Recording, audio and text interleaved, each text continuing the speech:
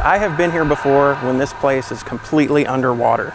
This whole area, this whole entire intersection, buildings flooded. This creek, it's dry now, but when it's when it's flooded, it is absolutely out of its banks. We've run several uh, water rescues here with vehicles that tried to pass through the water and it's deceptive. The power of water is amazing. There's little pockets all over the city that will flood just like this area does. And if people try to drive through it, then they're, they're stranded. If you get yourself in danger, the first responders are gonna come to help you.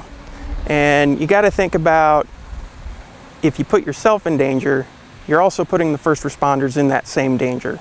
The best thing to do, rule of thumb wise, is turn around, don't drown.